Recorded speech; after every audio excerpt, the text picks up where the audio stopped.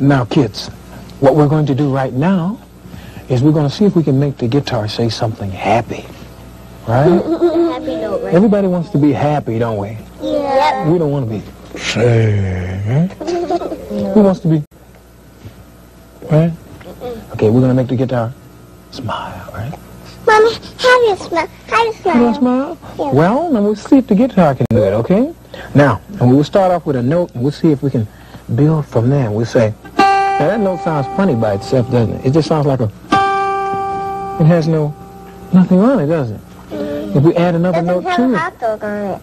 That's right. An upside down one, right? Or right side up. Okay, then we put another note. It's getting there, but it ain't quite there yet. So we add another note. Hmm? Half a hot It's a half a hot dog. That's right. Now, Erica, watch. Watch what happens when I add more notes to it. Getting better, isn't it? It's starting to sound better. Now watch it. And we're going to let Erica play the smile chord, the big one. Now watch it. Run it all the way up and down the What's the big strings. Come on. This one? Run all the way down. Almost. I'm going to help you. Me and you. Now that's a smile chord, see? That's the hot There it is.